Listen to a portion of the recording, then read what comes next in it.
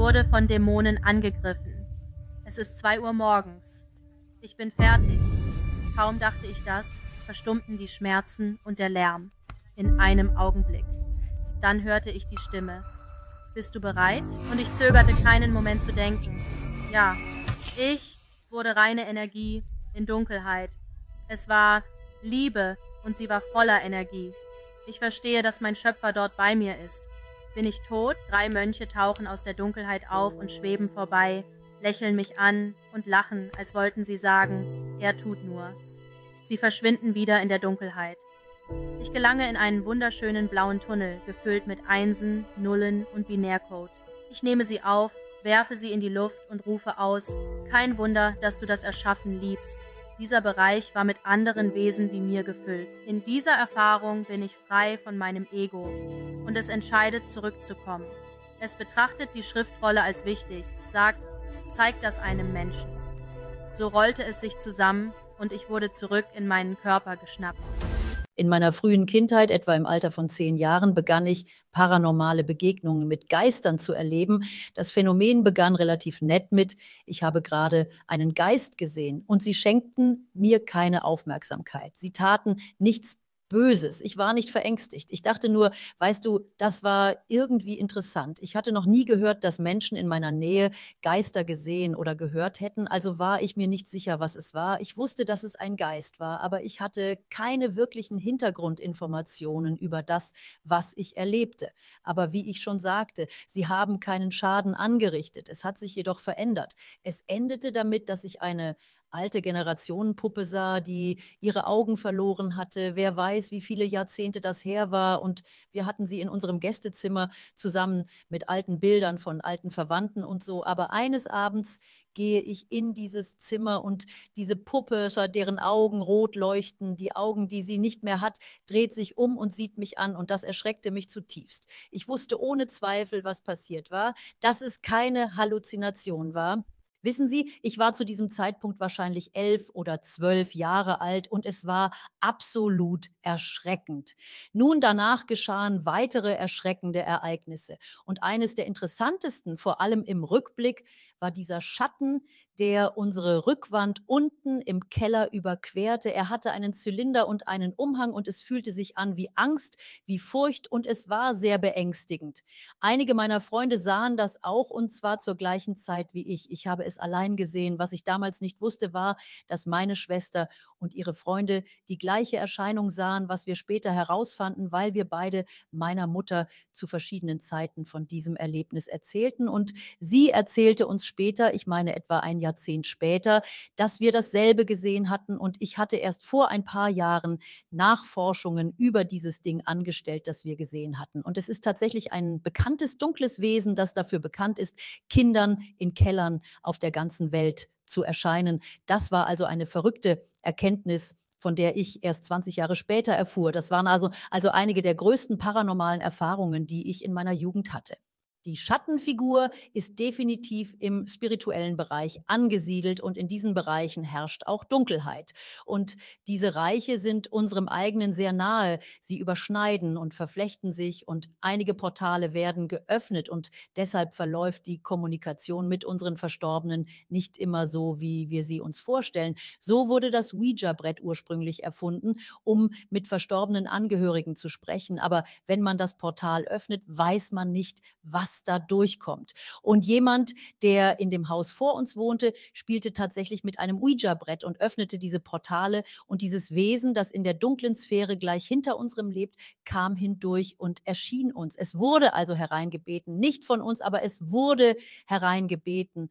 Und ich glaube, es findet seinen Weg in die ganze Welt. Aber ich glaube, der Grund dafür, dass es von uns angezogen wurde, war, dass ich auch anfing, Symptome einer seltenen Krankheit zu spüren, die wir erst in acht Jahren diagnostizieren würden, aber sie senkte meine Energie. Und ich hatte niedrige Energie, niedrige Schwingungen. Ich war unglücklich. Und so haben die dunklen, ich weiß nicht, es ist Offensichtlich aber dunkle Wesenheiten lieben es, sich von diesen dunklen, dichten Energien zu ernähren. Das ist ihre Energiequelle. Ich denke also, dass die Kombination aus der Öffnung des Portals meiner dichten Energie und meiner dunklen Energie ein perfektes Habitat für dieses Wesen war. Ich habe nicht wirklich mit dem Wesen interagiert. Ich wusste, dass es dunkel und unheimlich war. Es erschien viele Male und ich war eine Art Gestaltwandler und spielte meiner Schwester und mir und sogar unseren Freunden Streit Bereiche. Ich würde nicht sagen, dass wir uns darauf eingelassen haben, aber es ist auf jeden Fall viele Male in unserem Leben erschienen.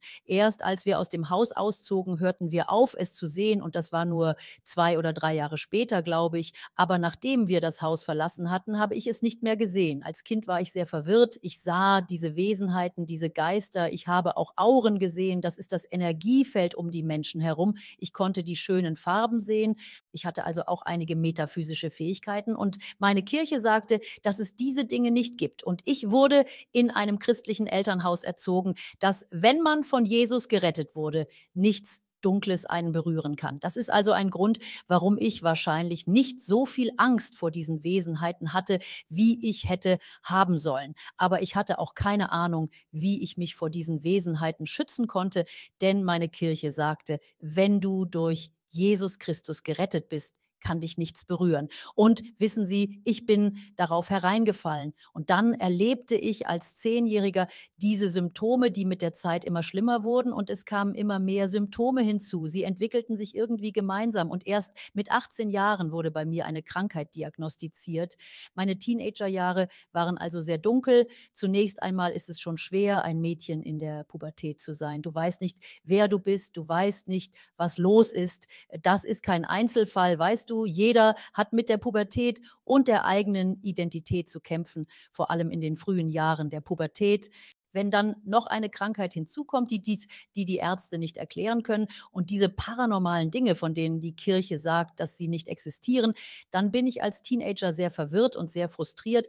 Nun, mit 18 bekam ich endlich eine Diagnose und die lautete Myoklonusdystonie. Dabei handelt es sich um eine seltene neurologische Bewegungsstörung und sie deckte alles ab, alle Angstzustände, Depressionen, Zwangsstörungen sowie die körperlichen Symptome wie Muskelsteifheit, Nervenschmerzen, Zittern, Zuckungen. Sie wissen schon, einfach eine Menge Schmerzen. Es deckte alles ab. Es ergab also endlich einen Sinn. Wir dachten, dass die Diagnose Hoffnung und eine Antwort bringen würde, aber die Krankheit war so selten, dass man nicht wirklich wusste, wie man sie behandeln sollte. Ich hatte also schon als Teenager eine Reihe von Medikamenten genommen, um die Symptome zu lindern, aber nichts half wirklich. Also war ich in den nächsten acht Jahren auf mich allein gestellt, um die Krankheit zu behandeln. In den nächsten acht Jahren erlebte ich noch mehr mehr metaphysische und paranormale Phänomene. Ich fing an, unfreiwillig Astralreisen zu machen und in diesen Dimensionen zu landen, wo mich diese dunklen Wesenheiten verfolgten. Und dann sah ich sie wieder in meinem Haus. Ich sah Erscheinungen im Spiegel und Wissen Sie, in meinem Zustand frage ich mich, bin ich verrückt? Was ist da los? Ich hatte immer noch nichts über die metaphysische Seite der Dinge gehört. Ich war immer noch sehr verwirrt, abgesehen von den Filmen, die Hollywood produziert und den Fernsehsendungen, in denen es um Magie und Mystik geht. Und ich dachte, das ist nicht die Realität. Aber trotzdem erlebe ich Dinge, die diesen Shows sehr ähnlich sind. Ich war also immer noch sehr verwirrt und ich zog in einen anderen Bundesstaat der USA und dachte, na ja, dieser Zustand wird mich umbringen. Ich werde so oder so sterben. Ich könnte könnte genauso gut versuchen, das Beste aus meinem Leben zu machen. Zu diesem Zeitpunkt hatten wir alternative, ganzheitliche Medikamente ausprobiert, um meine Krankheit zu lindern. Wir versuchten es mit chinesischen Kräutern, Rep-Massage, Chiropraktik, Achtsamkeit, Hypnose, Beratung. Die Liste der Dinge, die wir ausprobierten, ist ziemlich lang. Jedenfalls bin ich in einen anderen Staat geflüchtet und dachte mir, dass ich dort von alleine sterben würde. Nun, so war es dann auch. Und ich wusste nicht, dass ich das Sterben Sterben überleben würde. Als ich meine Nahtoderfahrung hatte, war meine Mutter immer eine große Verfechterin und Forscherin, die immer versuchte, etwas zu finden, weil meine Krankheit selten war und wir einen seltenen Weg finden wollten, damit umzugehen. Also, sie hatte von Menschen gehört, die durch Geistbefreiungstherapie von diesen seltsamen chronischen Krankheiten geheilt wurden, die die Ärzte nicht behandeln konnten. Und was Geistbefreiungstherapie ist, ist wenn ein Praktizierender, der darauf spezialisiert ist, diese dunklen Entitäten vom menschlichen Körper und der menschlichen Seele zu lösen. Manchmal kommen diese dunklen Entitäten und heften sich an eine Person und sie heften sich entweder an sie, weil sie alt sind, sie sind ein Geist, eine Person, die verstorben ist, aber sie wollen jemanden finden, durch den sie weiterleben können. Also, wenn sie vor ihrem Tod ein missbräuchlicher Drogenabhängiger waren, manchmal geht dieser Geist nicht über und kommt zurück und heftet sich an jemanden, den sie dann überzeugen können, diese Dinge zu tun. Sie leben stellvertretend durch sie und auch am anderen Ende davon gibt es diese dunklen Entitäten, die einfach aus Dunkelheit geboren werden und sie kommen und heften sich an und ernähren sich von der Angst und dem Chaos, das sie verursachen. Da ich wusste, dass ich diese dunklen Entitäten als Kind gesehen hatte und als Kind geschwächt und krank war, dachten wir, vielleicht hätte ich einige Anhaftungen und vielleicht wäre es die Antwort, es wäre die Heilung. Also fanden wir, meine Mutter fand einen Praktizierenden, der die Arbeit aus der Ferne macht. Und wir trafen uns über Zoom und besprachen die Behandlung. Und während des Prozesses wissen Sie, ich wäre mir nicht unbedingt bewusst, was vor sich geht, aber ich könnte körperlich krank werden während des Prozesses weil es eine Sache der Energie ist und wenn ihre Energie durcheinander gerät, können sie krank werden. Also verstand ich, sagte, okay, nun lassen Sie uns das versuchen und wir begannen und ich hatte ziemlich viele Entitäten an mir und sie waren dunkel und stark und mächtig und so arbeitet diese Frau fleißig daran, sie freizugeben und zu lösen. Nun, während sie das tut, werde ich immer kränker und kränker und wir gehen in Woche eins und ich bekomme wirklich grippeähnliche Symptome, Übelkeit und Erbrechen und andere Sachen, die sie ans Badezimmer fesseln. Und dann kommt Woche zwei und ich werde kränker und ich sehe keine Erleichterung und ich werde wirklich, wirklich krank. Und wir baten sie aufzuhören und uns unbekannt zu der Zeit. Wir wussten nicht, sie wusste nicht. Ich denke, sie war wirklich leidenschaftlich daran interessiert, mir zu helfen und sie verstand nicht, wie krank ich wirklich war. Also werden diese Dinge wütend und sie sind nicht glücklich. Sie wollen nicht gehen. Ich werde körperlich krank. Sie steigern sich. Sie werden körperlich und psychisch quälend. Und gegen Ende weiß meine Mutter, dass ich in Schwierigkeiten bin und sie und mein Vater nahmen einen Flug, um herunterzufliegen und wir sind am Telefon im Gebet für 72 Stunden davor. Wissen Sie, ich kämpfe und ich kämpfe und Sie wissen, das Einzige, was mich durchbringt, ist das Gebet. Aber am 27. April. An diesem Morgen 2017 war ich am Telefon mit meiner Mutter und ich sagte ihr, ich muss auflegen und etwas Schlaf bekommen, weil ich wusste, dass sie Schlaf brauchte. Ich wusste, ich konnte nicht. Mein Vater hatte tatsächlich von Gott gehört, dass ich unter einem dämonischen Angriff stand und er sagte, Gott spricht nie mit mir, aber er sagte, Brie ist in Schwierigkeiten. Also wissen Sie, Sie können nicht eher zu mir kommen und ich bin erschöpft von allem.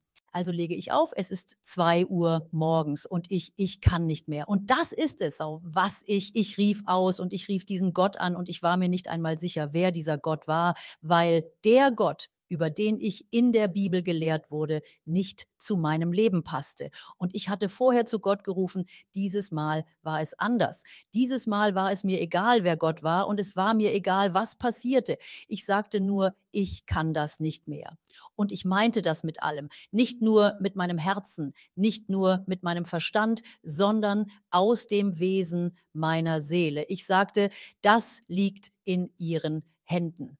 Und genau so, sobald ich das dachte und aufgab, kam Gelassenheit und Frieden über mich. Also wurden die Stimmen von dem, was wie 100 Stadien klang, zum Schweigen gebracht. Das Gewicht von 100 Felsbrocken wurde von mir genommen. Die Peitschen hatten ebenfalls aufgehört. Sie hörten auf.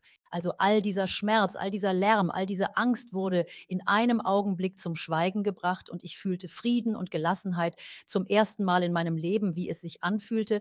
Und ich bin einfach, ich bin einfach dankbar. Ich bin einfach aufgeregt und ich fühle ein Klopfen auf den Handflächen und meinen Füßen und dann höre ich diese Stimme, bist du bereit?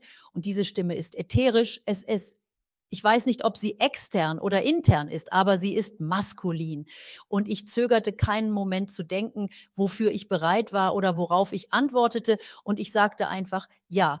Und sobald ich ja dachte, wurde ich von meinem Körper getrennt und ich endete körperlos. Nur Energie in völliger Dunkelheit, aber es war nicht dunkel, es war nicht beängstigend, es war Liebe und es war voller Energie. Also obwohl ich nichts sehen oder physisch fühlen konnte, konnte ich die Energie spüren und ich konnte die Liebe spüren. Und ich, ich verstehe, dass mein Schöpfer dort bei mir ist und ich bin mit, ich bin mit ihm und wir sind eins. Und es ist schön und es ist liebevoll und es ist einfach sehr friedlich. Und dann weiß ich nicht, warum ich diesen Gedanken hatte, denn ich war mir der menschlichen Form von Brie nicht wirklich bewusst und ich war mir der Erde nicht bewusst, aber ich war mir genug bewusst, um zu fragen, bin ich tot?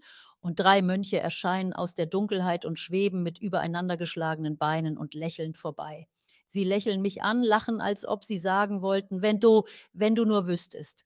Nun, sechs Jahre später, würde ich endlich herausfinden, dass das bedeutete, sie lachten, weil es so etwas wie den Tod nicht gibt. Es gibt keinen Tod, es ist nur ein Übergang der Energie.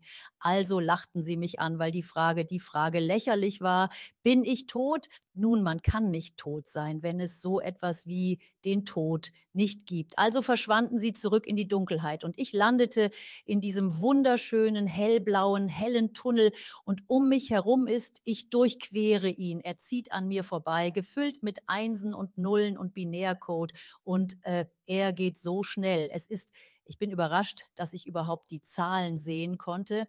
Und ich weiß, dass ich in diesem Tunnel mit Informationen heruntergeladen werde. Und diese Informationen sind wichtig. Ich weiß nicht, was die Informationen sind, aber ich wusste, dass sie wichtig waren und ich würde wissen, was es war, wenn ich es brauchte. Und dann lande ich in diesem weißen Bereich. Und es ist einfach alles weiß, außer einem Haufen riesiger schwarzer Zahlen vor mir.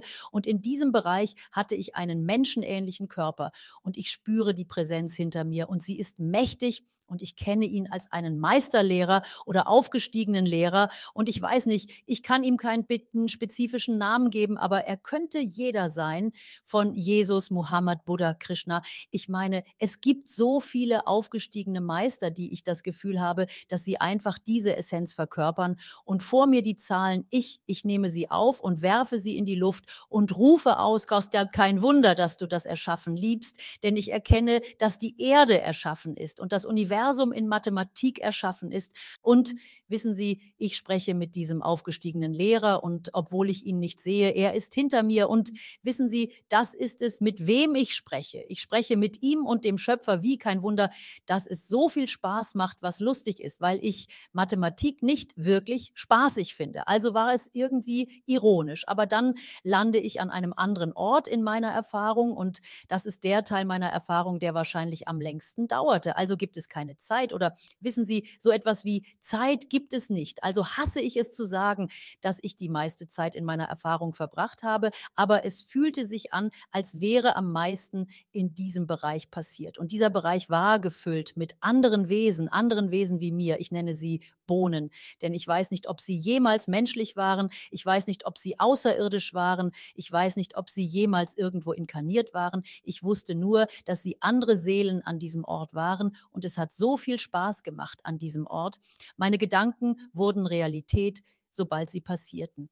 So sehr wie damals, als ich ja auf die Stimme antwortete, die fragte, ob ich bereit sei und ich sofort aus meinem Körper war, passierten Dinge wie diese. Also der erste Vorfall ist, ich stehe dort in einer Art, es erinnerte irgendwie an die Erde, es ist irgendwie stadtähnlich und zur Seite der Stadt sehe ich diese riesigen Bäume, sie sind mit Schnee bedeckt. Ich habe nur, ich denke, ich mag keinen Schnee. Sofort wurden sie zu üppigen, grün moosbedeckten Bäumen und ich rutsche an ihnen hinunter und diese anderen anderen Wesen rutschen neben mir an den Bäumen hinunter. Und ich denke, wissen Sie, wenn ich keinen Schnee mag und er zu Moos wurde, was ist, wenn Sie Schnee mögen und Sie tatsächlich Schnee erleben, während ich zur gleichen Zeit anders zusammen Moos erlebe. Das war nur ein neugieriger Gedanke, den ich hatte und nur zurückgekehrt zu unserer 3D-Erde, dass Dinge wie diese nicht passieren. Oder tun sie das, habe ich mehr darüber nachgedacht. Es war nur irgendwie sehr cool. Also lande ich auch in einer Art Lebensmittelgeschäft aussehenden Ort und wir räumen die Regale ein und niemand sagt etwas und wir wissen einfach alle unseren Platz und wir bewegen uns einfach und wir kommunizieren nicht, aber wir arbeiten zusammen an, ohne etwas zu sagen. Und dann im Hintergrund des Ladens oder vorne verwandelt es sich in eine Bühne und wir alle enden zusammen tanzend auf der Bühne, als hätten wir das von Lenny choreografiert. Ich wusste nicht, wer diese anderen Wesen waren. Wir haben nie ein Wort gesagt, aber wir alle bewegten uns als eins und es war wunderschön. Ein weiterer Vorfall, der eine weitere Gedankenschöpfung war, war, dass Wesen an dieser Maschine arbeiteten, die an der Spitze eine riesige Flamme hatte und ironischerweise war ich zu diesem Zeitpunkt ein Schneemann und ich denke, nun was passiert, wenn ich dieser Flamme Flamme zu nahe komme, werde ich schmelzen. Nun sofort passierten Gedanken und ich wurde dort und schmolz und ein Blütenblatt aus Augäpfeln. Noch einmal hatte ich den Gedanken, nun ich frage mich, ob jemand kommen wird, um mich wieder zusammenzusetzen. Genau so wurde ich wieder zusammengefügt und weg vom Feuer. Ähm, ich durfte auch einen Roboterkörper erleben und versuchen zu fliegen und ich endete damit, meinen Arm an einer Art elektrisch aussehenden Pfahl zu versengen und es tat nicht weh. Es gab keine Angst, Angst, keinen Schmerz. Ich hatte keine Angst. Es war nur Neugier. Nun, da geht mein Arm und dann sehe ich ihn mit etwas Binärcode nachwachsen und ich dachte, faszinierend, noch einmal kein Schmerz, keine Angst, nur reine Neugier und Freude an diesem Ort. Also verbrachte ich den Großteil meiner Erfahrung in diesem Bereich, diesem Reich und spielte einfach herum. Im Grunde genommen, so würde ich es ausdrücken. Und am Ende dieser Zeit versammelten wir uns alle an diesem Stacheldraht Stacheldrahtzaun und ein Stacheldrahtzaun. Ich konnte nicht darüber hinaussehen. Es ist verschwommen, aber ich wusste, dass etwas darüber hinaus war. Und diese Wesen öffneten sich durch eine Öffnung im Zaun auf eine Landbrücke und sie verschwanden in die Unschärfe. Und ich wurde nicht gefragt, ob ich gehen könnte. Mir wurde keine Wahl gelassen. Ich wusste einfach, dass ich nicht mit ihnen gehen konnte. Und dann landete ich am letzten Ort meiner Erfahrung in diesem schwarzen Raum mit sieben erstaunlichen Wesen hinter mir.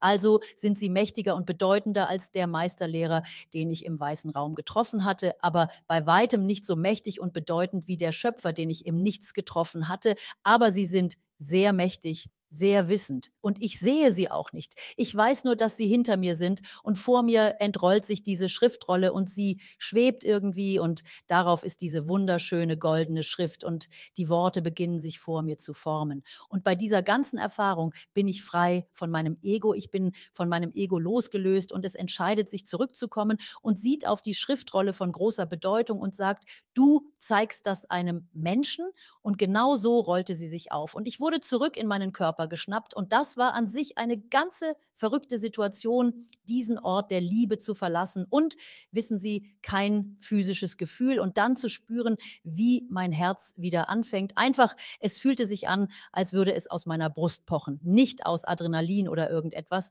Es war nur das tatsächliche Gefühl, meinen Herzschlag wieder zu spüren. Es war sehr intensiv